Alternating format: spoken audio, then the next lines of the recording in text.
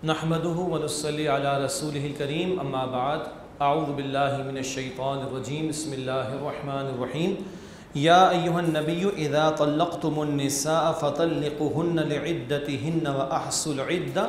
واتقوا الله ربكم.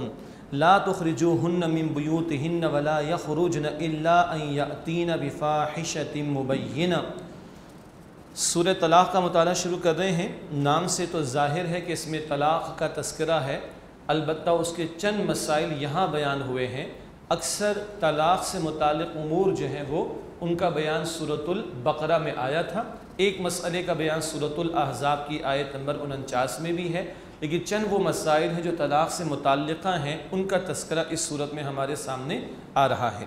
البتہ اسی کے ساتھ اس صورت میں تقوی پر بڑا زور دیا گیا ہے اور تقوی کی بڑی پیاری اور قیمتی برکات ہیں جن کا بیان اس صورت میں ہمارے سامنے آئے گا انشاءاللہ۔ بسم اللہ الرحمن الرحیم۔ یا ایوہ النبی، اے نبی صلی اللہ علیہ وآلہ وسلم، مراد فرمائیے، اذا طلقتم النساء، کہ اے لوگو، جب تم عورتوں کو طلاق دینے لگو فطلقهن لعدتهن، تو ان کی عدت کے وقت انہیں طلاق دو وہ احسل عدہ اور عدت کا شمار رکھو۔ یہ بات عجیب لگی ہوگی، عدت کے وقت طلاق دو کیا مطلب ہے؟ شریعت نے طلاق دینے کا طریقہ بھی بتایا۔ یہ جو ہمارے ہاں جاہل لوگ ایک ہی دفعہ میں تینوں فائر کرتے ہیں، یہ جاہل ہیں، یہ ظالم ہیں۔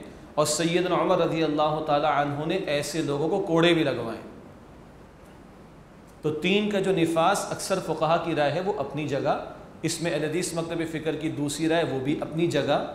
مگر یہ بات تو طے ہے کہ سیدنا عمر نے اگر نفاس کرایا تھا تین طلاقوں کا تو ایسے ایک وقت میں دینے والوں کو کوڑے بھی لگوائے تھے۔ اور یہ وہ جو حدود آرڈیننس کا حلیہ بگاڑا گیا تھا ہمارے ملک میں، مشرف کے دور میں، سارے علماء نے بہت ساری اس پہ سفارشات پیش کی جس میں یہ بات بھی شامل تھی، حنفی علماء کی طرف سے۔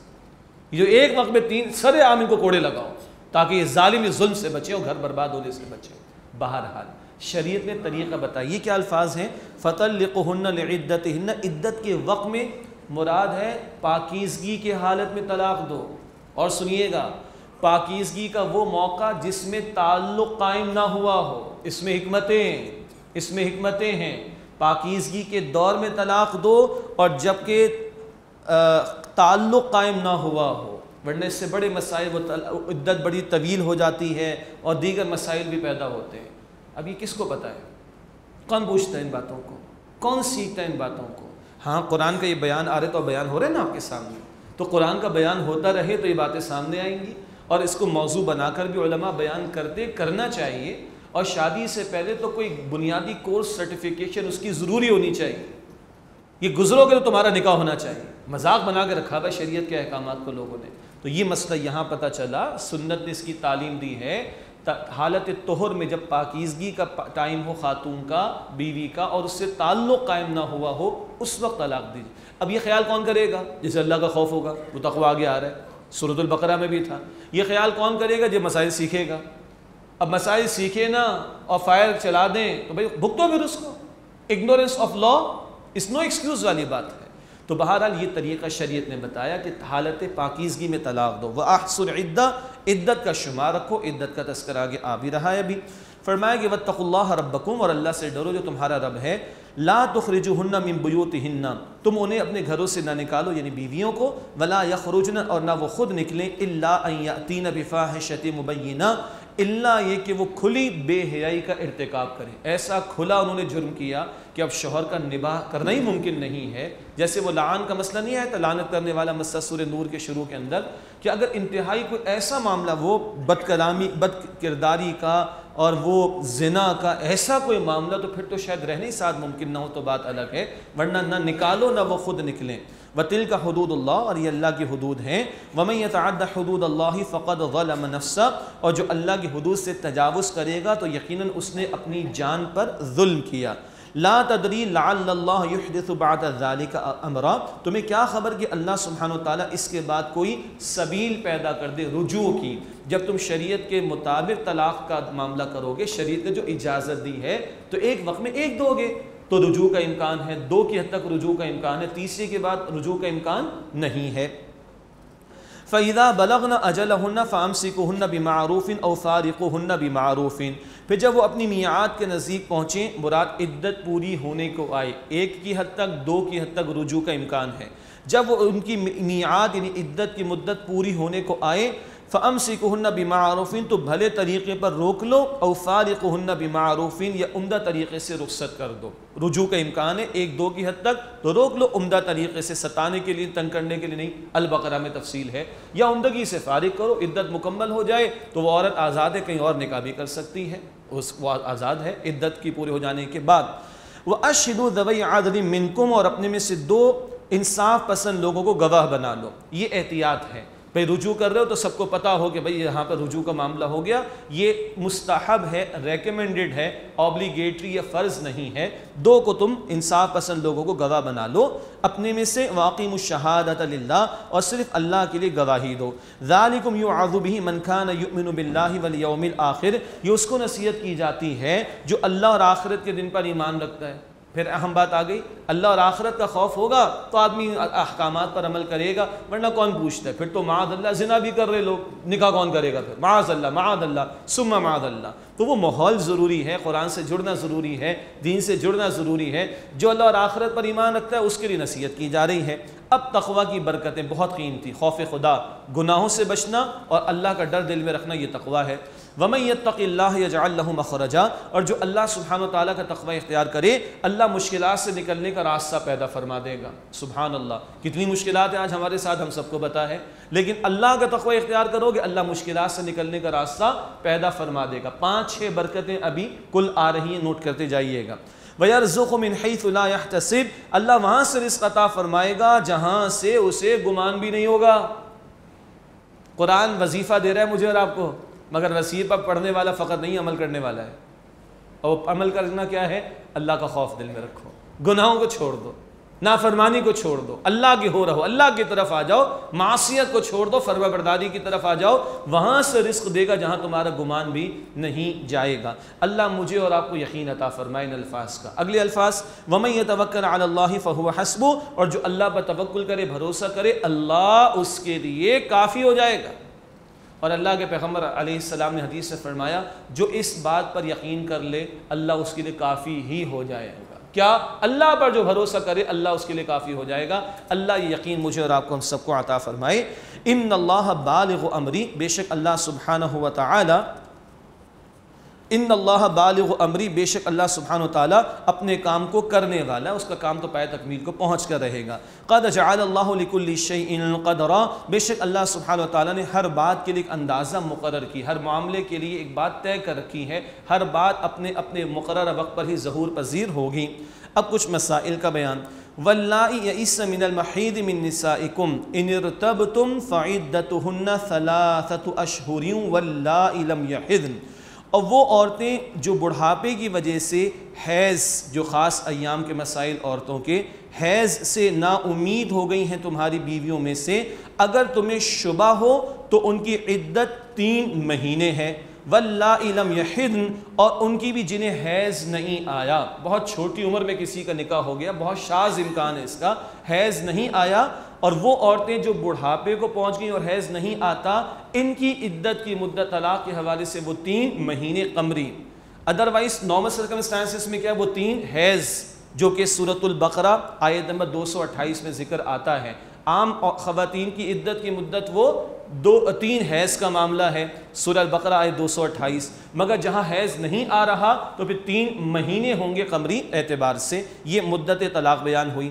اب ایک مسئلہ، وہ خواتین جو حاملہ ہوں پریگننٹ ہوں، وَأُولَاتُ الْأَحْمَالِ أَجَلُهُنَّ أَن يَضَعْنَ حَمْلَهُنَّ۔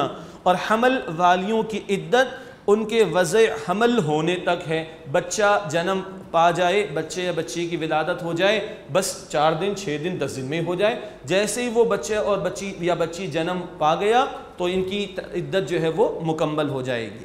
یہ مسائل اس مقام پر سورہ طلاق میں بیان ہوئی یہ البقرہ میں بیان نہیں ہوئے تھے۔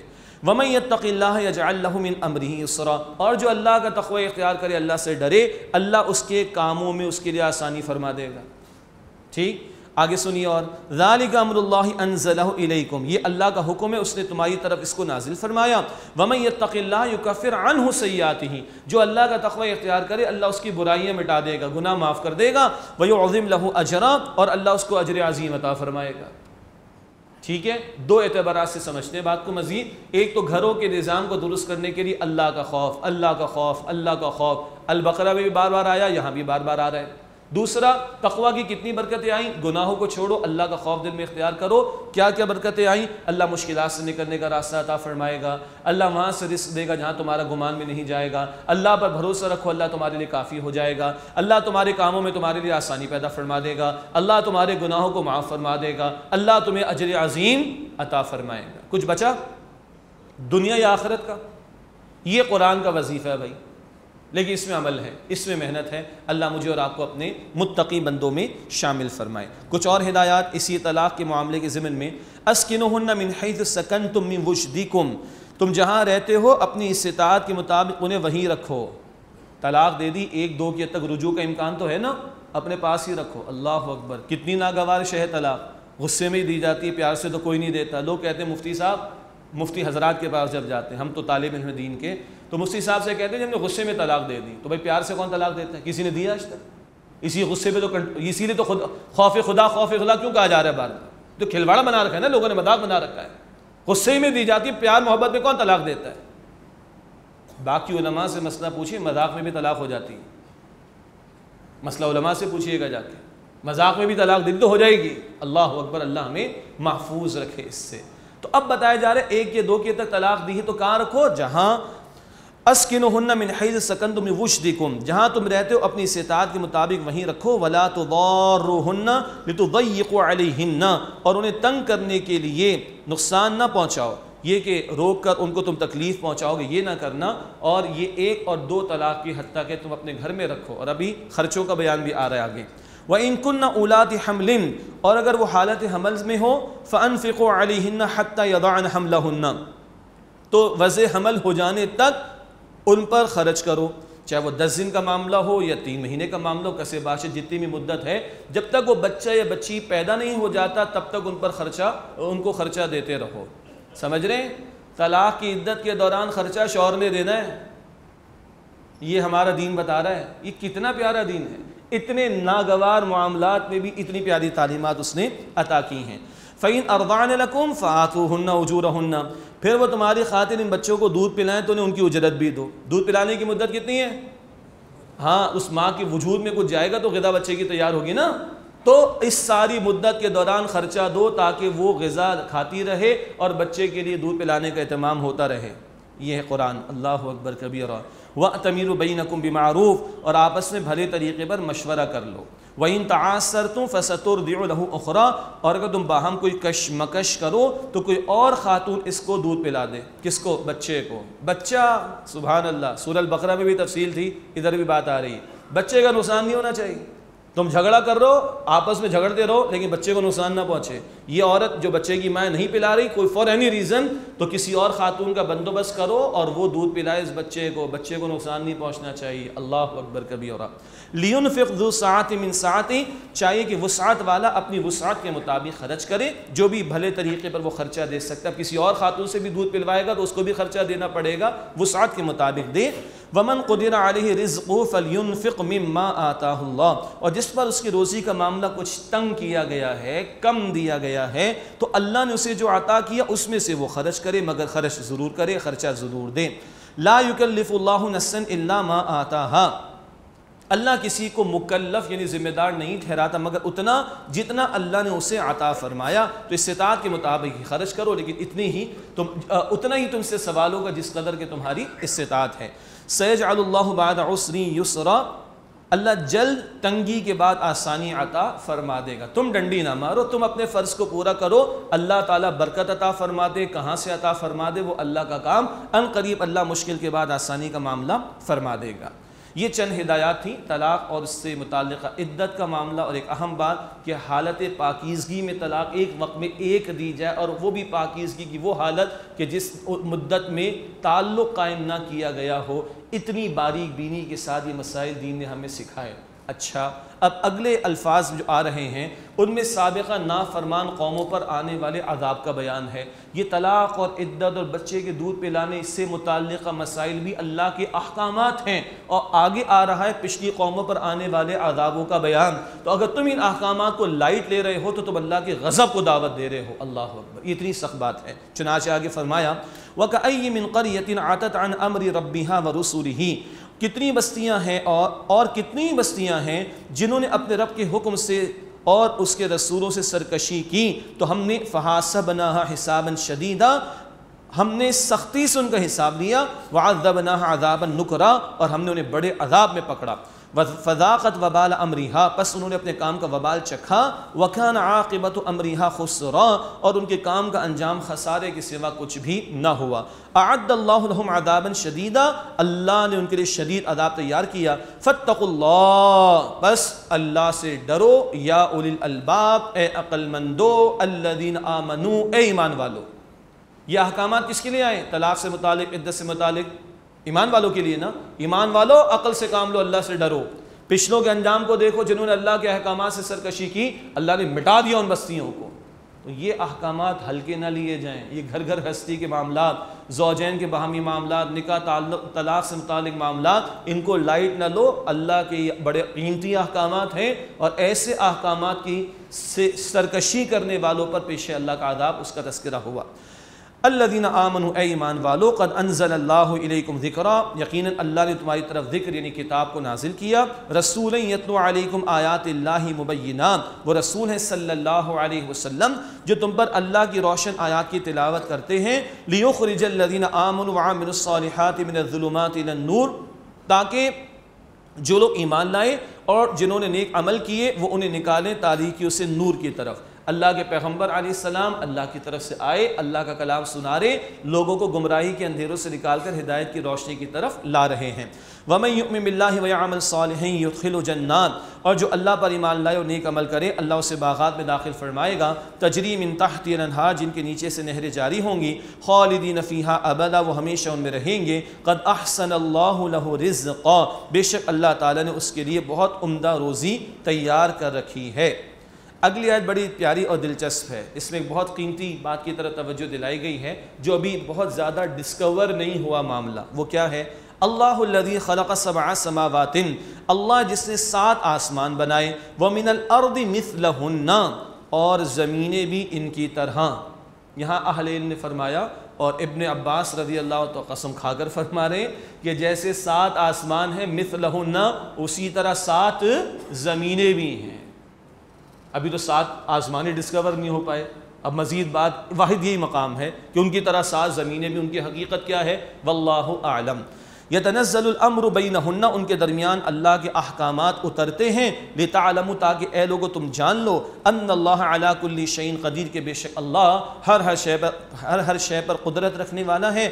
وان اللہ قد احاط بكل شیء علما۔ اور بے شک یہ کہ اللہ سبحانہ و تعالی نے ہر شے کا علم سے احاطہ کیا ہوا ہے۔ ساتوں آسمانوں میں بھی احکامات، پتہ نہیں کیا کیا نازل ہو رہے ہیں، اور ساتوں زمینیں بھی ہوں گی، اور کیا کیا نازل ہو رہا ہوگا؟ اللہ اکبر کبیرہ، کچھ تفسیروں کا مطالعہ کیجیے گا تو اور کچھ باتیں کھلیں گی انشاءاللہ تعالی۔ اس کے بعد اٹھائیس سے پارے کی آخری اور یہ دس صورتوں کے ضمن میں تسلسل کے ساتھ جو دس مدنی صورتیں اس ضمن میں بھی آخری صورت ہے صورت التحریم۔ ترتیب یہ ہے کہ سور طلاق میں گھریلو زندگی کی ایک انتہا کا ذکر تھا، جہاں ناچاقی انتہا کو پہنچ جائے اور گھر ٹوٹنے کو آ جائے، طلاق کا معاملہ۔ کبھی ایسا ہوتا ہے کہ زوجین میں اتنی موافقت ہو جاتی ہے کہ اللہ کے احکامات ٹوٹ جاتے ہیں۔ گھر تو نہیں ٹوٹتا، اللہ کے احکامات ٹوٹ جاتے ہیں، یہ بھی ٹھیک نہیں، یہ دوسری انتہا ہے۔ اتنی محبت، اتنی، اتنا پیار، اتنی موافقت، اوہو، سبحان اللہ، اچھی بات ہے، موافقت ہونا، مگر اتنی کہ اللہ کے احکامات ٹوٹنے شروع ہو جائیں، اس سے بھی روکا گیا ہے۔ البتہ نبی اکرم علیہ السلام کے ایک واقعے کے تناظر میں ایک رہنمائی ہے، لیکن اس سے امت کو ایک بہت بڑی ہدایت عطا کی گئی ہے، اس کا تذکرہ بھی آئے گا۔ پھر گھر کے سربراہ، وہ جو شوہر اور باپ ہے، مرد کی حیثیت میں، اس کے لیے بڑی قیمتی ہدایات کا ذکر ہے۔ اور پھر خاص ایک مضمون آ رہا ہے کہ ہر عورت کا اپنا علیحدہ تشخص ہے۔ دنیا میں گھر گھر ہستی کا نظام اور انتظام چلانے کے لیے مرد کو ایک درجہ اوپر رکھا گیا، لیکن آخرت کے اعتبار سے عورت کو یاد رکھنا چاہیے کہ اس نے اپنا جواب خود دیکھنا، دینا ہے۔ تو یوں ہر عورت کی اپنی ایک سیپریٹ آئیڈینٹی اسلام بھی بیان کرتا ہے اور کل کی اس کی جواب دہی اپنی الگ ہوگی، اس کو بھی قرآن نے ذکر کیا۔ یہ موضوعات اس سورہ تحریم میں ہمارے سامنے آئیں گے اور یہ سورہ تحریم بھی منتخب نصاب میں شامل ہے۔ تو تقریباً دس میں سے چھ صورتیں جو مدنی ہیں، دس صورتوں میں سے چھ صورتیں اس منتخب نصاب میں شامل ہیں، جس کو بارہا استاد محترم ڈاکٹر اسرار احمد صاحب رحمۃ اللہ علیہ نے بیان فرمایا۔ اب وہ کتابی شکل میں، آڈیو میں، ویڈیو میں بھی دستیاب ہے اس سے استفادہ کیا جا سکتا ہے۔ جی سور تحریم۔ بسم اللہ الرحمن الرحیم۔ یا ایوہ النبی، اے نبی صلی اللہ علیہ وسلم، لما تحرم ما احل اللہ لک؟ کیوں آپ اپنے اوپر اس بات کو حرام کر لیتے ہیں؟ یعنی روک لیتے ہیں، لغوی معنی میں، جسے اللہ نے حلال کیا آپ کے لیے۔ تب تغی مردات ازواجک، اپنی بیویوں کی رضا چاہتے ہیں آپ۔ واللہ غفور الرحیم، اور اللہ بہت بخشنے والا، نہایت رحم فرمانے والا ہے۔ اس کے پس منظر میں دو تین واقعات علماء نے بیان فرمائے۔ ایک جو معروف ہے، اس کا حاصل میں آپ کے سامنے رکھ دیتا ہوں۔ اللہ کے نبی علیہ السلام کی کئی ازواج متحرات تھیں اور حجرے سب کے تھے، علیحدہ علیحدہ مسجد نبوی کے ساتھ عصر کی نماز کے بعد اب ہر ایک کے پاس تھوڑی تھوڑی دیر کے لیے جاتے تھے اور قیام ان زوجہ کے حجرے میں ہوتا جن کی باری ہوا کرتی۔ کسی ایک زوجہ نے آپ کو ایک خاص خاص قسم کا شہد پیش کرنا شروع کیا، آپ اس کو استعمال فرماتے تھے۔ تو باقی دو ازواج متحرات نے محسوس کیا کہ وہاں شہد پیا جا رہا ہے تو وہاں پہ ٹائم شاید زیادہ دیا جا رہا ہے۔ تو ہمارا ٹائم کم ہو رہا ہے۔ نیک نیتی ہوگی۔ بھارت انسان ہے گھرانے انسانوں کے تھے۔ یہ باتیں تو تھیں وہاں پر۔ تو اللہ کے پیغمبر نے فرمایا اچھا میں نہیں پیتا شاید؟ ختم ہوگی بات؟ کوئی بڑی بات تو نہیں ہے نا؟ اللہ نے روک دیا۔ اے نبی، کیوں آپ اس کو روک رہے ہیں جسے اللہ نے حلال کیا ہے؟ ذہن میں رکھیں، اللہ کے نبی نے شہد کو اپنے لیے روکا ہے۔ شہد کا استعمال کرنا حلال ہے۔ فرض تو نہیں ہے نا؟ ایک تو یہ بات ہے۔ ایک حلال کو اپنے لیے روکا، امت کو بھی نہیں کہا۔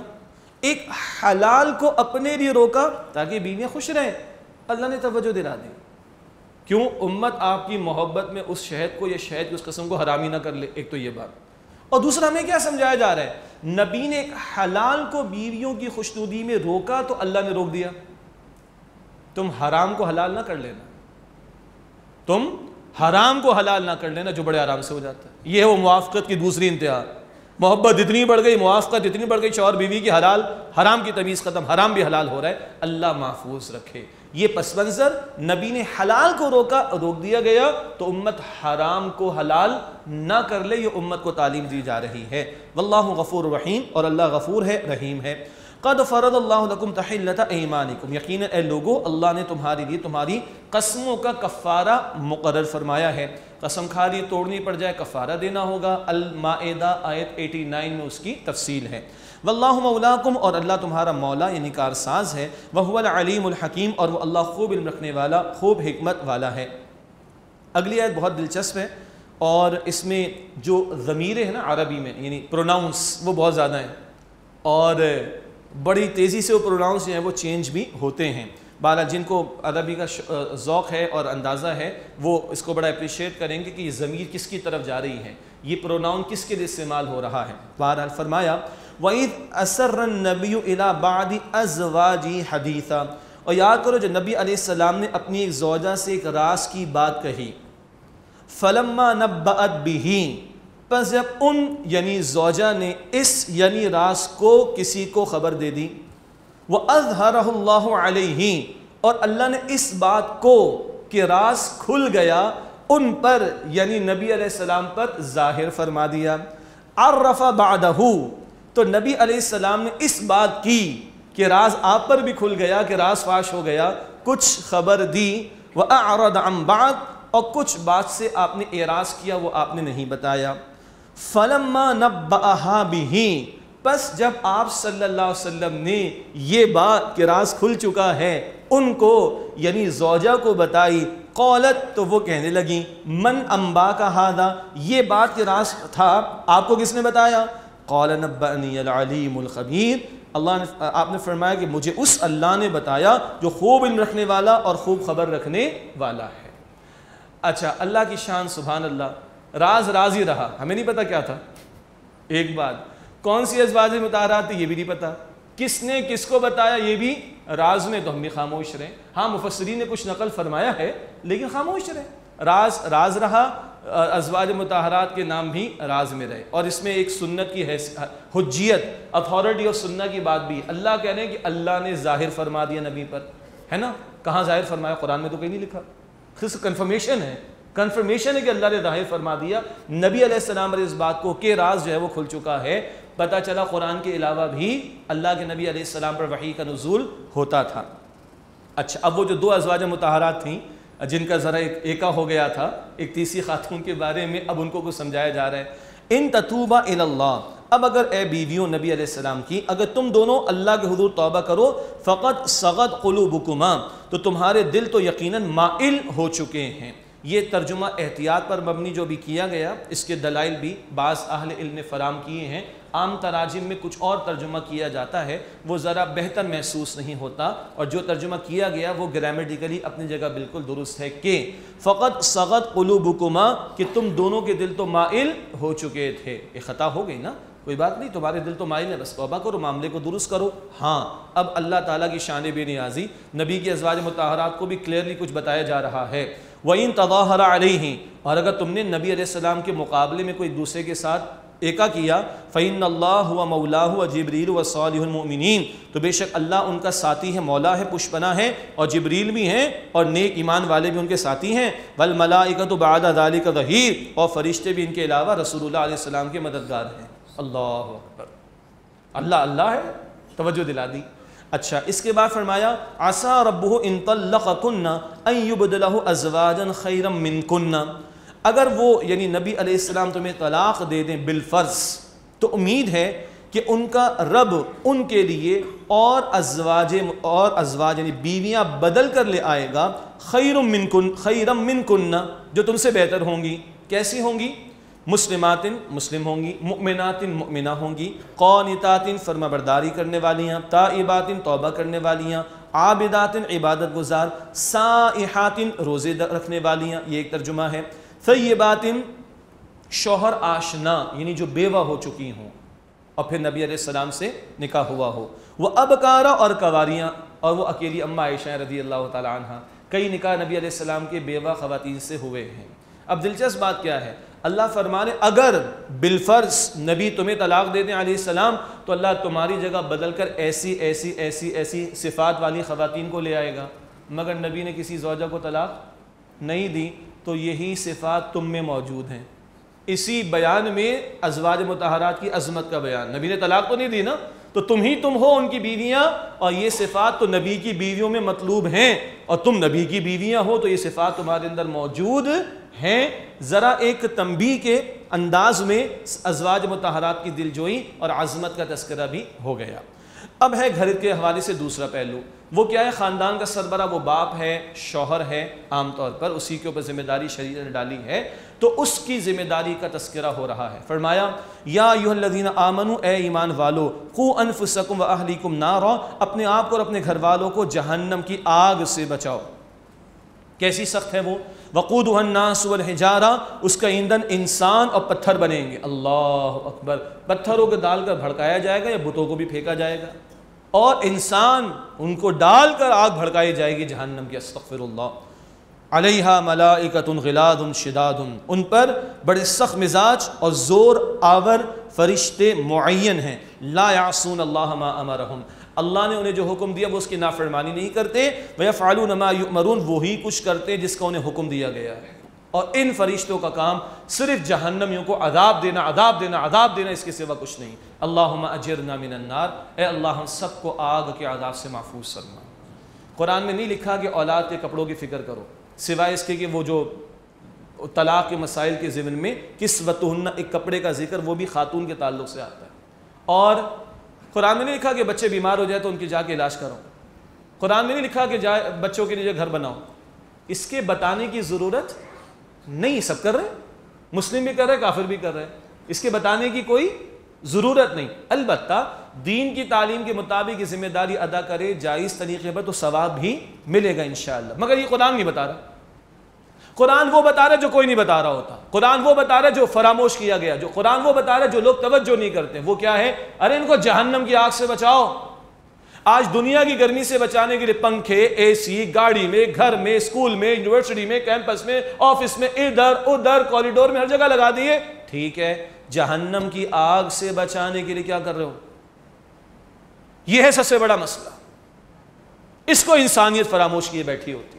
عظیم اکثریت اس کو فراموش کیے بیٹھی ہوتی ہے۔ اس پر قرآن نے توجہ دلائی۔ باقی اسکول بھیجنے کے لیے، بچوں کے کپڑے چلوانے کے لیے، بچوں کے علاج کرانے کے لیے، بچوں کے لیے گھر بنانے کے لیے کسی واس کی ضرورت نہیں ہے۔ کسی سرمن کی اسپیچ کی، موٹیویشنل اسپیچ کی ضرورت نہیں۔ سب کر رہے ہیں۔ یہ کوئی بھول جاتے ہیں لوگ۔ اکثر لوگ بھول جاتے ہیں۔ اپنے آپ کو بچاؤ جہنم کی آگ سے۔ اور اپنے گھر والوں کو بچاؤ جہنم کی آگ سے۔ یہ ہے اہم ترین ذمہ داری سربراہ خاندان کی۔ مرد کہتے ہیں نا، میں ہم بڑے ہیں۔ اور تم بڑے ہو تو ذمہ داری بھی بڑی۔ جہاں ان کی مادی حاجات پورا کرنا تو مردوں کے ذمے ہے، بیوی بچوں کی کفالت وہی ان کی روحانی حاجات کو پورا کرنا، ان کو جہنم سے بچانے کی فکر کرنا، انہیں اللہ کا بندہ بنانے کی فکر کرنا، یہ مرد کی ذمہ داری، باپ کی ذمہ داری، شوہر کی ذمہ داری۔ اور اللہ پوچھیں گے اس کے بارے میں بخاری کی روایت، کلکم رائن و مسئول رعیتی ہر ایک تمہیں سے رائی ہے نگبان ہے اور اس کی رعیت میں جو لوگ ہوں گے، ان کے بارے میں سوال ہوگا۔ باپ ہے تو اولاد کے بارے میں، شوہر ہے تو بیوی کے بارے میں، آقا ہے، مالک ہے تو غلام کے بارے میں، اور حکمراں ہے تو رعایا کے بارے میں سوال ہوگا۔ اور ہاں انہی گھر والوں کی حلال طریقے پر کفالت کرے ثواب ملتا ہے، سبحان اللہ حدیث ترمیزی کی وہ لقمہ جو تم ماں باپ کو کھلاتے ہو، وہ لقمہ جو تم بیوی کو کھلاتے ہو، وہ لقمہ جو تم اولاد کو کھلاتے ہو، وہ مال جو تم اس لیے کماتے ہو کہ ہاتھ نہ پھیلانا پڑے، صدقہ ہے، ثواب ملے گا، سبحان اللہ۔ بہترین صدقہ کیا ہے؟ بندہ جو اپنے گھر والوں پر خرچ کرتا ہے، حلال پہ خرچ کرو، کوئی حرج کی بات نہیں۔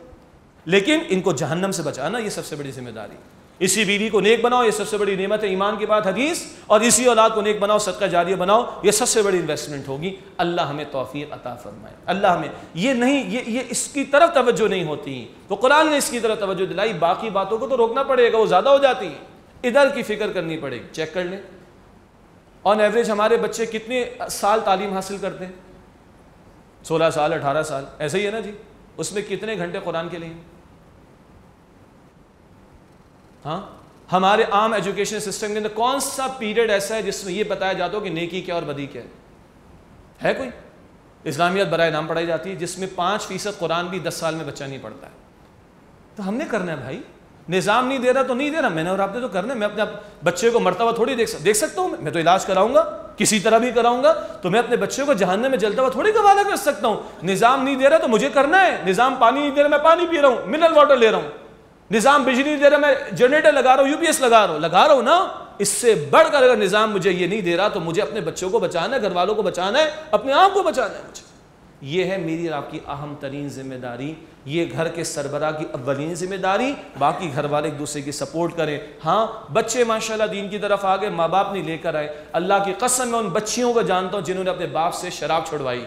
میں ان بچیوں کو جانتا ہوں جنہوں نے اپنے باپ سے جوا چھڑوایا۔ الحمدللہ رب العالمین۔ ان بچوں کو جانتا ہوں جنہوں نے باپ کو جو دہریہ بن چکا تھا، اللہ کی طرح لائے وہ بچے، الحمدللہ رب العالمین۔ اگر بچوں کا احساس ہو گیا، وہ گھر میں کام کریں۔ بچیوں کو ہو گیا وہ احساس، وہ کام کرے۔ ماں کو احساس ہو گیا، وہ کام کرے۔ بیوی کو احساس ہو گیا، وہ کام کرے۔ البتہ شوہر کو، باپ کو زیادہ احساس کرنا چاہیے اور سب کریں گے کام آسان ہوگا انشاءاللہ تعالی۔ سب مل کر کریں گے کام آسان ہوگا انشاءاللہ۔ سورہ توبہ، اول مؤمنون اول مؤمنات بعضهم اولیاء بعض۔ یامرون بالمعروف وینهون عن المنکر۔ ایمان والے ایک دوسرے کے ساتھی ہیں، ایک دوسرے کو نیکی کا حکم دیتے ہیں، بدی سے روکتے ہیں۔ اللہ یہ محنت سب سے بڑھ کر ہمیں، ہمارے گھروں میں کرنے کی توفیق عطا فرمائے۔ فرشتوں کے بارے میں آیا کہ وہ اللہ کی نافرمانی نہیں کرتے جو اللہ نے انہیں حکم دیا اور وہی کچھ کرتے جس کا انہیں حکم دیا گیا ہے۔ یہ ہے فرشتوں کی صفت کہ وہ نافرمانی نہیں کرتے۔ یا یو الذین کفرو اے کفر کرنے والو، لا تعتذروا اليوم، آج بہانے نہ بناؤ معذرت پیش نہ کرو۔ انما تجزون ما کنتم تعملون، تمہیں بدلے میں وہی کچھ دیا جائے گا جو تم کرتے رہے۔ پچھلی آیت میں حکم تھا، گھر والوں اپنے آپ کو، گھر والوں کو جہنم سے بچاؤ۔ اور ایمان والوں سے خطاب تھا۔ یکدم کافروں سے خطاب آ گئے۔ یہاں کافر کون مراد؟ جو اللہ کے حکم پر عمل نہیں کر رہا وہ کفر کر رہا ہے عملاً۔ جو اللہ کے حکم پر عمل نہیں کر رہا وہ عملاً کفر کر رہا ہے۔ ایسی مثال قرآن میں سورہ عال عمران نائنٹی سیون میں بھی ہے حج کے حوالے سے۔ ایسی مثال قرآن میں سورہ بقرہ آیت دو سو چون میں بھی ہے آیت الکرسی سے پہلے۔ جو آخرت کی تیاری نہیں کر رہے ایمان والوں سے خطاب ہے اور تیاری نہیں کر رہے وہ کفر کر رہے ہیں ایسی مثال حدیث میں ہے منطرق الصلاۃ متعمدن فقد کفر. ترمیسی کی روایت جسے جان بوجھ کر، نماز ترک کر دی، وہ کفر کر چکا۔ اللہ اکبر۔ جس نے جان بوجھ کر نماز چھوڑ دی، وہ کفر کر چکا۔ یہ عمل کا کفر ہے، عمل کا کفر ہے۔ یہاں کہا جا رہا ہے کافر و معذرت پیش نہ کرو لیم ایکسکیوز پیش نہ کرو، بہانے نہ بناؤ۔ تمہیں بدلے میں وہی کچھ دیا جائے گا جو عمل کرتے رہے۔ آج جو اپنے آپ کو، اپنے گھر والوں کو جہنم سے بچانے کی فکر، کوشش، محنت، جد و جہد نہیں کر رہا، وہ عملاً کفر کر رہا ہے۔ عمل کا کفر، عقیدے کا نہیں، ہے کلمہ کو مسلمان۔ عملاً یہ کفر کا طرز عمل ہے۔ اللہ تعالی ہم سب کی حفاظت فرمائے۔ یا ایوہ الذین آمنوا، اے ایمان والو توبو الاللہ توبتا نسوہا اللہ کے حضور سچی اور پکی توبہ کرو۔ کیا ہے سچی پکی توبہ؟ سیدنا علی رضی اللہ تعالی عنہ نے بھی کچھ شرائط بیان فرمائی اور علماء نے اس کو نقل کیا کہ نمبر ایک، دل میں ندامت، میں نے رب کو ناراض کیا، حکم کو توڑا۔ ندامت دل میں۔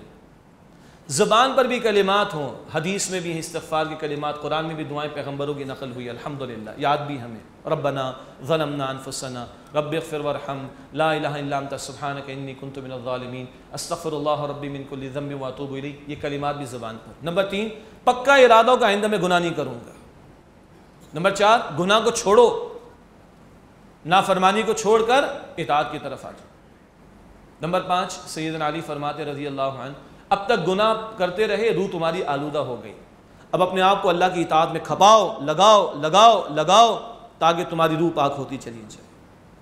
نمبر چھ، اگر بندوں کا حق مارے تو لوٹانا پڑے گا۔ پلاٹ پہ قبضہ کیا، واپس کرنا پڑے گا۔ جائیداد ماری کسی کی، واپس لوٹانی پڑے گی۔ پیسہ ہڑپ کیا ہے واپس کرنا پڑے گا۔ توبہ نہیں اس کے بغیر۔ یہ ہے انفرادی توبہ۔ دل میں ندامت، زبان پر توبہ کے کلمات استفار کے کلمات، آئندہ گناہ نہ کرنے کا پکا ارادہ بھی کرے اور گناہ کو بالفعل چھوڑ بھی دے اور اب کھپائے اللہ کی اطاعت میں اپنے آپ کو اور اگر بندوں کی حق تلفی کی تو ان کا حق بھی لوٹائے۔ ایک ہے اجتماعی توبہ، وہ پاکستان والوں کو کرنی۔ ملک اسلام کے نام پر لیا، فراموش کر بیٹھے۔ لوٹو گے اسلام کی طرف تو حالات درست ہوں گے۔ کلمے پر ملک لیا، کلمے پر دیا اللہ نے، کلمے پر ہی بچے گا، انشاءاللہ۔ آؤ کلمے کی طرف، آؤ اسلام کی طرف، یہ قوم کی اجتماعی توبہ ہوگی۔ جیسے کہ سورہ یونس آیت اٹھانوے، قوم یونس کی توبہ کا ذکر ہے، پوری قوم آگے اللہ کے سامنے، اللہ ہمیں ایسے اجتماعی توبہ کرنے کی توفیق عطا فرمائے۔ یا ایوہ الذین آمنوا، اے ایمان والو توبو الاللہ توبتا نسوہا اللہ کے حضور سچی پکی توبہ کرو۔ عسا ربکم ان یکفر عنکم سیئاتکم۔ امید ہے تمہارا رب تم سے تمہاری برائیوں کو دور کر دے گا۔ ویدخلکم جنات، اور تمہیں باغات میں داخل فرمائے گا۔ تجریم امتحتی انہا جن کے نیچے سے نہریں جاری ہیں۔ یوم لا یخزی اللہ النبی والذین آمنوا معا جس دن اللہ نبی علیہ السلام کو اور جو ان کے ساتھ ایمان لائے، انہیں رسوا نہیں کرے گا۔ سب سے بڑی رسوائی آخرت کی ہے۔ اللہ کل کی رسوائی سے، ذلت سے میری آپ کی ہم سب کی حفاظت فرمائے۔ نورہم یسعا بین ایدیہم و بی ایمانہم ان کا نور ان کے سامنے اور ان کے دائیں طرف دوڑتا ہوگا۔ یہ بات سورہ حدید میں بھی یہاں پر آئی۔ یقولون دعا کرتے ہوں گے، ربنا اے ہمارے رب، اتمم لنا نورنا وغفر لنا۔ ہمارے لیے ہمارے نور کو پورا فرما دے اور ہمیں بخش دے۔ انکا علا کل شیئن قدیر۔ بشک اللہ، تو ہر ہر شے پر قدرت رکھنے والا ہے۔ ایک تو منافقین کا بیان ہے الحدید میں، سورہ حدید میں۔ وہ ایمان والوں سے مانگنا چاہیں گے، نہیں ملے گا، جاؤ پیچھے جا کے تلاش کرو۔ آخرت میں عمل کا نتیجہ ملے گا، عمل کرنے کا موقع نہیں۔ یہ ایمان والوں کا بیان ہے۔ اللہ کے نبی علیہ السلام کی حدیث میں ذکر آتا ہے، کسی کا نور اتنا کہ مدینہ شریف سے صنعا یمن تک پھیلا ہوا ہو، اتنی دور تک پھیلا ہوا ہوگا۔ اور کسی کا اتنا کم ہوگا، بس انگوٹھے کے، پیر کے انگوٹھے کے پاس پاس ہوگا۔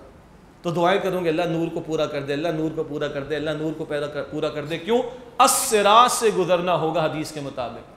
اور اسرات پر تاریکی ہے۔ اور وہاں نور اسی کے پاس ہوگا جس سے دنیا میں ایمان اور عمل کا نور تلاش کیا ہوگا۔ اللہ ہمیں عطا فرمائے۔ تو جن کے پاس کم یا تھوڑا ہوگا، ربنا اتمم لنا نورنا۔ اے ہمارے رب، ہمارے لیے نور کو پورا فرما دیں وغفر لنا اور ہمیں بخش دے۔ انکا علا کل شعین قدیر۔ بشک اے اللہ، تو ہر ہر شے پر قدرت رکھنے والا ہے۔ یا ایوہ النبی جاہد الکفار والمنافقین وغلو علیہم۔ اے نبی صلی اللہ علیہ وسلم، جہاد کیجیے کفار و منافقین سے اور ان پر سختی کیجیے۔ جہاد کا ایک مفہوم تو قتال جنگ کا ہوتا ہے۔ البتہ منافقین سے با باقاعدہ کوئی جنگ نہیں ہوئی۔ تو یہاں جہاد کوشش کے معنی میں بھی ہے۔ محنت کیجیے ان کی سازشوں کا توڑ کرنے کے لیے۔ منافقین کی بات ہو رہی ہے۔ کفار سے تو قتال بھی ہوا، منافقین سے کوئی باقاعدہ جنگ نہیں ہوئی۔ مراد ان کی سازشوں کا توڑ کیجیے۔ وغلو علیہم اور ان پر سختی کیجیے۔ یہ بیجا نرمی کا فائدہ اٹھا رہے تھے منافقین۔ اور گھر میں بھی کبھی ہو جاتا ہے۔ بیجا نرمی کی وجہ سے ماحول بگڑتا ہے گھر کا۔ نرمی کہاں ہو جاتی؟ چلو بچہ ہے نا، نماز نہیں پڑھی تو کون سی بڑی بات ہے؟ ابھی اٹھارہ سال کا ہی تو ہے۔ کیا سختی کرنا دین کے اندر؟ ان اللہ و ان راجعون۔ ہاں چلو کوئی بات نہیں، اب ایک ڈانس کی پارٹی میں فیملی ہو کر آگے کون سی بڑی بات؟ چلتا ہے۔ ان للہ، یہ ہے غلط۔ حکمت سے سمجھانا ہے، تربیت بھی کرنی ہے۔ مگر بالکل بیجا نرمی نرمی نرمی نرمی، تو پھر اس سے ماحول بگڑتا ہے، پھر زندگی برباد ہوتی اللہ محفوظ رکھے۔ لیکن نرمی، سختی کا امتزاج اس تعلق سے بات سامنے رہنی چاہیے۔ فرمایا کہ وغلظ علیہم اور ان پر سختی کیجیے واہم جہنم اور ان کا ٹھکانہ جہنم ہے۔ وبئس المصیر اور وہ لوٹنے کی بہت بری جگہ ہے۔ اللہم اجرنا من النار۔ اے اللہ، ہمیں آگ کے عذاب سے محفوظ فرما۔ اب جو اگلی آیات ہیں، ان میں کچھ خواتین کا ذکر آ رہا ہے۔ دو بہت ہی بری حالانکہ بہت ہی بہترین ماحول ملا۔ ایک بہت ہی بہترین مگر بہت ہی بدترین ماحول ملا تھا فرعون کا۔ اور ایک بہت ہی پیاری بی بی مریم سلام علیہ ماحول بھی ان کو بہت پیارا ملا تھا۔ یہ مختلف ماحول والی خواتین کا تذکرہ۔ ضرب اللہ مثلا للذین کفروا مرات نوح و مرات لوت بیان کی اللہ نے کافروں کے لیے نو علیہ السلام کی بیوی اور لوت علیہ السلام کی بیوی کی مثال۔ کانتا تحت عبدین من عبادنا صالحین۔ وہ دونوں ہمارے دو بندوں کے گھروں میں تھیں جو نیک بندے تھے، پیغمبر تھے دونوں اللہ کے۔ فخانتاہما، پس ان دونوں نے خیانت، ان دونوں نے خیانت کی۔ یہ بیویاں نافرمان تھیں۔ پیغمبروں کا ساتھ نہیں دیا، قوم کا ساتھ دیا، اس کو خیانت سے تعبیر کیا گیا۔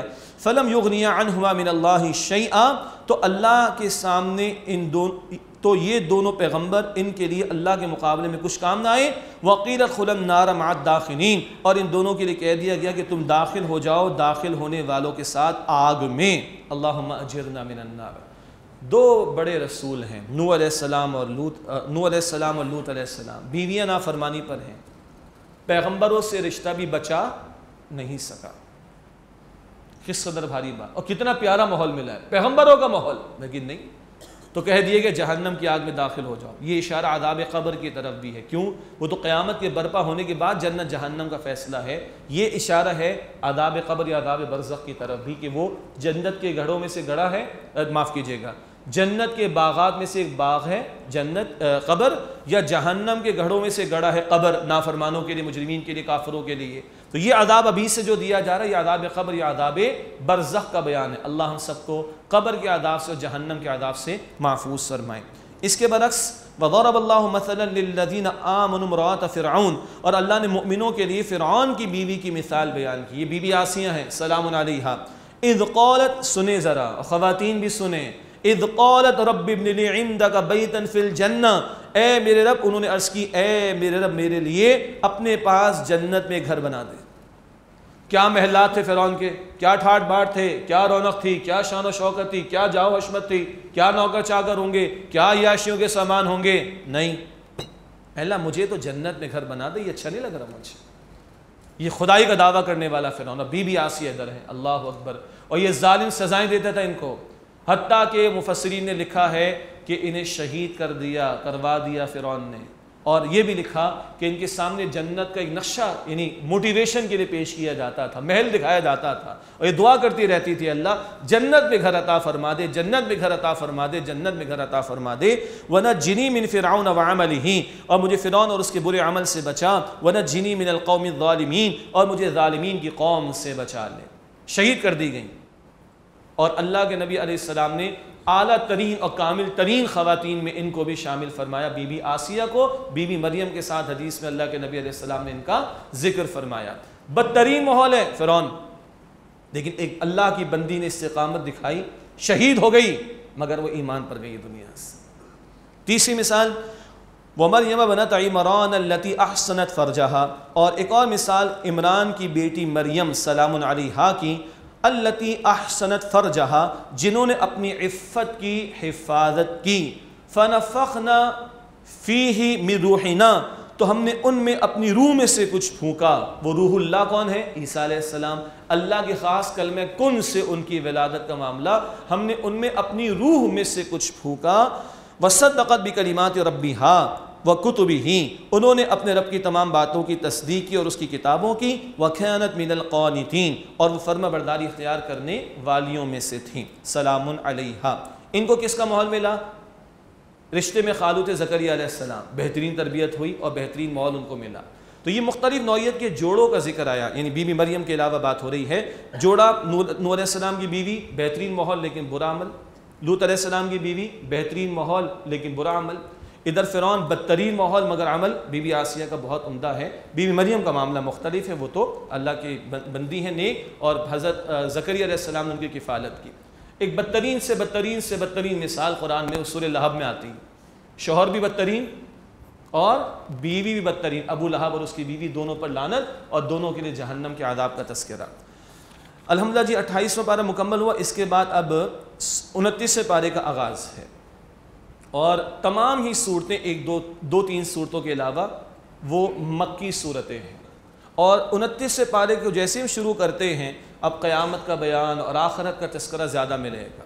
اور جب تیسرے پارے میں داخل ہوں گے، تو قیامت ہی قیامت اور آخرت ہی آخرت، قیامت ہی قیامت اور آخرت ہی آخرت، قیامت ہی قیامت اور آخرت ہی آخرت، بار بار بار بار بار اسی کا ذکر آتا ہے۔ حکمت کیا سمجھ آتی؟ ہے واللہ عالم، ایک حکمت یہ سمجھ آتی ہے، شروع سے ایک بندہ قرآن پڑھتا ہوا آ رہا ہے، قرآن کے تقاضے، دین کے تقاضے، دین کے احکامات اس کے سامنے آتے چلے آ رہے ہیں۔ اب کیا شے اس کو عمل پر آمادہ کرے گی؟ وہ آخرت کا عقیدہ ہے۔ اس پر بار بار زور ان آخری پاروں میں، تیسرے میں بہت شدید زور دیا گیا اس پر، انتیسویں پارے میں بھی یہ کیفیت انشاءاللہ ہمارے سامنے آئیں گی۔ صورت الملک ہے، اس میں، اس کے بارے میں اللہ کے نبی علیہ السلام نے تلقین فرمائی، رات کو سوتے وقت اس کی تلاوت کیا کرو۔ جامع ترمیسی کی روایت، یہ قبر کے عذاب سے بچانے والی صورت ہے۔ اور یہ سفارش کرے گی اللہ کے ہاں اپنے پڑھنے والے کے لیے۔ جامع ترمیزی کی روایت میں تفصیل آتی ہے صورت الملک۔ اس میں اللہ کی توحید کے دلائل، قدرت کے دلائل بھی ہیں اور جھٹلانے والوں کا انجام و مشکین کو عبرت بھی دلائی گئی ہے۔ بسم اللہ الرحمن الرحیم. تبارک الذی بید الملک وهو علی کل شیء قدیر. برکت والی ذات اللہ کی جس کے ہاتھ میں کل بادشاہت اور وہ اللہ ہر ہر شے پر قدرت رکھنے والا ہے. الذي خلق الموت والحیات لیبلوکم ایکم احسن عملا. وہ اللہ جس نے موت اور حیات کو پیدا کیا تاکہ تمہیں آزمائے کہ تم میں سے عمل کے اعتبار سے بہترین کون ہے. یہ زندگی کیوں دی گئی؟ یہ موت اور حیات کا سلسلہ امتحان. یہ زندگی ایک ٹیسٹ، ایک امتحان. ہر بدلتا لمحہ وہ ایک امتحان.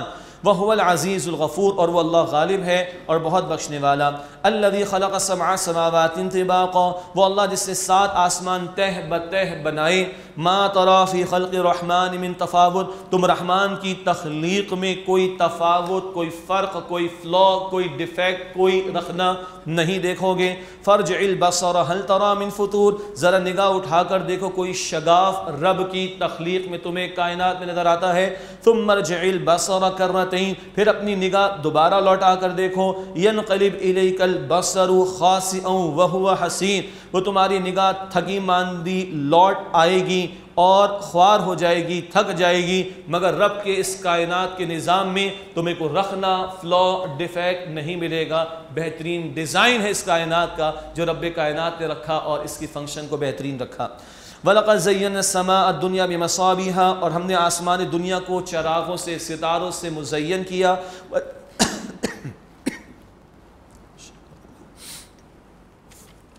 وجعلناها رجوما للشیاطین اور ہم نے انہیں شیاطین کے مارنے کا آلہ بنایا۔ وہ اچھکنے کی کوشش کرتے مارا جاتا انہیں۔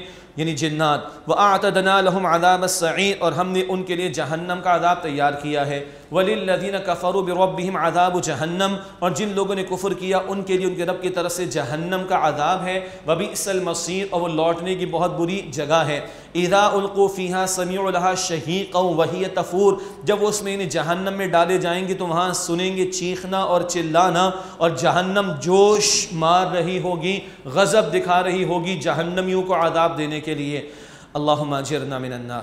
تکاد تمیز من الغیر قریب ہے کہ غضب کے مارے وہ پھٹ پڑے کلما القیا فیہا فوج سألہم خزنتها علم یاتکم ندین جب جب اس میں کوئی گروہ ڈالا جائے گا تو اس کے داروغہ ان سے پوچھیں گے، کیا تمہارے پاس کوئی ڈرانے والا پیغمبر نہ آیا؟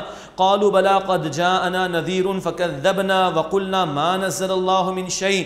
وہ کہیں گے ہاں ہاں کیوں نہیں ہمارے پاس ضرور ڈرانے والا آیا رسول؟ بس ہم نے جھٹلایا اور ہم نے کہا کہ اللہ نے کچھ نازل نہیں کیا۔ ان انتم الا فی ضلال کبیر۔ تم تو بہت ہی بڑی گمراہی میں ہو۔ وقالوا اور وہ کہیں گے لو کننا نسمع او نعقل ما کننا فی اصحاب السعین اگر ہم سنتے یا سمجھتے، عقل سے کام لیتے، تو ہم آگ والوں میں سے نہ ہوتے۔ فاعترفوا بذنبہم، بس انہوں نے اپنے گناہوں کا اعتراف کر لیا، مگر کوئی فائدہ نہیں۔ فسحقا لاصحاب السعیر، تو لعنت ہے آگ والوں کے لیے۔ اللہم اجرنا من النار۔ ان الذين يخشون ربهم بالغیب بے شک وہ لوگ جو غیب میں رہتے ہوئے اپنے رب سے ڈرتے ہیں، لہم مغفرت و کبیر، ان کے لیے بخشش ہے اور بڑا اجر ہے۔ اللہم ربنا جعلنا منہم، اے اللہ، ہمیں ان لوگوں میں شامل فرما دیجیے۔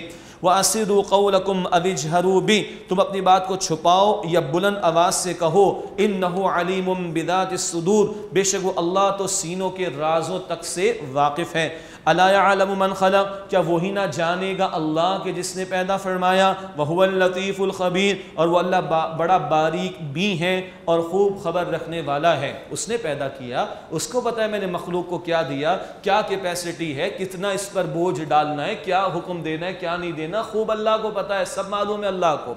هو الذي جعل لكم الارض ذلولا وہ اللہ جس نے تمہارے زمین کو مسخر کیا، تمہارے لیے نرم کیا فم شوفی منا کی بھی منا کی بھی ہاں تم اس کے راستوں میں چلو و کلو میں رزق ہی اور اس اللہ کے رزق میں سے کھاؤ وہ الہ نشور، اور اسی کی طرف تمہیں اٹھ کر جانا ہے یعنی مرنے کے بعد دوبارہ زندگی۔ امین تم من فی السماء ان یخصف بکم الارض فاذا ہی تمور؟ کیا تم اس بات سے بے خوف ہو گئے ہو کہ جو آسمان میں ہے کہ وہ تمہیں زمین میں دھنسا دے؟ تو اچانک وہ زمین جنبش کرنے لگ جائے تھر تھرائے کانپے ام امن تم من فی کیا تم اس سے بے خوف ہو گئے کہ جو آسمان میں ہے؟ ایورسل علیکم حاسبا، کہ وہ اللہ تم پر پتھروں کی بارش بھیجے۔ فستعلمون کیف نذیر، بس تم جلد جان لوگے میرا ڈرانا کیسا ہے؟ وَلَقَدْ كَذَّبَ الَّذِينَ مِن قَبْلِهِمْ فَكَيْفَ كَانَ نَكِيرٌ۔ اور یقیناً ان لوگوں نے جھٹلایا جو ان سے پہلے تھے۔ تو دیکھو کیسا ہوا میرا عذاب۔ اولم يروا الى الطير فوقهم صافات ويقبضن۔ کیا انہوں نے اپنے اوپر پرندے کو پرندوں کو پر ہلاتے اور سکیڑتے نہیں دیکھا؟ ما یمسکہن الا الرحمن۔ کوئی نہیں انہیں تھامنے والا سوائے رحمان کے۔ انہو بکل شیء بصیر بے شک وہ اللہ ہر ہر شے کو خوب دیکھنے والا ہے۔ کس نے ڈیزائن رکھا؟ کس نے ان کو بیلنس دیا ہے؟ تم اپنے آپ کو چوتھی منزل پر لے جا کر ہاتھوں کو یوں کرو تو کیا ہوگا؟ سب کو پتہ ہے کیا ہوگا؟ اور یہ پرندے کیا کر رہے ہیں؟ کون تھام رہا ہے اللہ سبحانہ و تعالیٰ۔ یہ سینکڑوں میل کے سفر پہ چلے جاتے پرندے۔ کون ان کو ڈیزائن کر چکا ہے؟ کون ان کو فکس کر چکا ہے ان کے پروگرام کے اعتبار سے؟ جاتے اور آپ ہی واپس بھی آ جاتے کون تھامتا ہے؟ رحمان کے سوا کوئی نہیں ہے۔ انہو بکل شیء بصیر۔ بے شک وہ اللہ ہر ہر شے کا خوب دیکھنے والا ہے۔ امن هذا الذي هو جند لكم ينصركم من دون الرحمن۔ بھلا وہ تمہارا کون سا لشکر ہے؟ جو تمہاری مدد کرے رحمان کے سوا ان الکافرون الا فی غرور، مگر کافر محض دھوکے میں مبتلا ہیں۔ امن هذا الذي يرزقكم ان امسك رزقا، بھلا وہ کون ہے جو تمہیں رزق دے؟ اگر وہ اللہ اپنا رزق روک لے، بل لجوا فی عتو والنفور بلکہ وہ سرکشی اور بھاگنے میں ڈھیٹ بنے ہوئے ہیں۔ یہ اللہ اپنی نعمتیں گنوا رہا ہے اور ان لوگوں کی مشکین و کفار کی ہر دھرمی کا ذکر فرما رہا ہے۔ افمن یمشی مکیبا علی وجہہ اہدا امن یمشی سویا علی صراط مستقیم، بھلا وہ جو اپنے منہ کے بل گرتا ہوا، اوندھا چلتا چلا جا رہا ہے، کیا وہ زیادہ ہدایت پر ہے یا وہ جو سیدھے راستے پر سیدھا چلتا چلا جا رہا ہے؟ کیا خیال ہے؟ کیا جواب ہوگا؟ جو دوسرا ہے وہ سیدھے، وہ اچھا ہے، وہ صحیح راستے پر ہے، ایک اندھیرے کے اندر ہے، راستہ واضح نہیں ہے ٹکرے کھا رہا ہے، گر رہا ہے اور دوسرا بالکل سیدھا چلتا چلا جا رہا ہے۔ ایک کے پاس کفر کی تاریکی ہے دوسرے کے پاس ہدایت کی روشنی، دونوں برابر نہیں ہو سکتے۔ قل هو الذي انشاكم وجعل لكم السمع والابصار والافئده اے نبی علیہ السلام فرمائیے وہ اللہ ہے جس نے تمہیں پیدا کیا اور اس نے تمہارے لیے کان اور آنکھیں اور دل اور دماغ بنائے. قلیلا ما تشکرون، بہت کم تم شکر کرتے ہو. قل هو الذي ذرأكم في الارض واليه تحشرون. آپ فرمائیے وہ اللہ جس نے تمہیں زمین میں پھیلایا اور اسی کی طرف تم لوٹائے جاؤ گے جمع کیے جاؤ گے وَيَقُولُونَ مَتَى هَذَا الْوَعْدُ إِن كُنتُمْ صَادِقِينَ. اور وہ کہتے ہیں کہ وعدہ کب پورا ہوگا؟ اگر تم سچے ہو تو بتاؤ، قُلْ إِنَّمَا الْعِلْمُ عِنْدَ اللَّهِ آپ فرما دیجیے، بے شک علم تو اللہ کے پاس ہے کہ قیامت کب آئے گی۔ وَإِنَّمَا أَنَا نَذِيرٌ مُبِينٌ۔ اور بے شک میں تو واضح طور پر ڈرانے والا رسول ہوں۔ فَلَمَّا رَأَوْهُ زُلْفَةً سِيئَتْ وُجُوهُ الَّذِينَ كَفَرُوا۔ پھر جب وہ اسے نزدیک آتا ہوا دیکھیں گے، تو جن لوگوں نے کفر کیا، ان کے چہرے سیاہ ہو جائیں گے۔ وکیل حاد الدی کم تم بھی تدعون۔ اور کہا جائے گا، یہ ہے وہ جس کا تم سوال کرتے تھے، مانگتے تھے۔ تھے، آگے عذاب کا معاملہ۔ قل ارائیتم ان اہلکنی اللہ ومن معی ورحمنا؟ اے نبی علیہ السلام فرمائیے، بھلا دیکھو، اگر اللہ مجھے اور جو میرے ساتھ انہیں ہلاک کر دیں یا ہم پر رحم فرما دیں فَمَن يُجِيرُ الْكَافِرِينَ مِنْ عَذَابٍ علیم تو کافروں کو دردناک عذاب سے کون بچائے گا؟ تم یہ تو سوچو۔ قل هو الرحمن، آمنا به وعلیہ توکلنا۔ آپ فرما دیجیے وہ رحمان ہے۔ ہم اس پر ایمان لائے اور اسی پر ہم نے بھروسہ کیا۔ فستعلمون من هو فی ضلال مبین۔ بس تم جلد جان لوگے کہ کون کھلی گمراہی میں ہے۔ قل ارائیت من اصبح ماؤکم غورا آپ فرمائیے، بھلا دیکھو، اگر تمہارا پانی نیچے کو اتر جائے، خشک ہو جائے، فمن یأتیکم بماء معین، تو کون ہے جو پانی رواں کر کے تمہارے لیے نکال کر لائے گا؟ اللہ اکبر، یہ پانی صحرا میں تو کتنی بڑی نعمت تھی، اور آج کراچی جیسے اتنے بڑے شہر میں بھی کتنی بڑی نعمت ہے، اندازہ کیجیے۔ کون دے رہا ہے تمہیں پانی؟ کون دے رہا ہے تمہیں نعمتیں؟ کون تمہیں بچا رہا ہے عذاب سے؟ کون تمہیں کھلا رہا ہے؟ کون تمہیں پلا رہا ہے؟ کون تمہیں رزق دے رہا ہے؟ ہے کوئی اللہ کے سوا اس کو چھوڑ کر اوروں کو پکارتے ہو، اوروں کو مانتے ہو؟ یہ پیغام ان مشیقین مکہ کو دیا گیا۔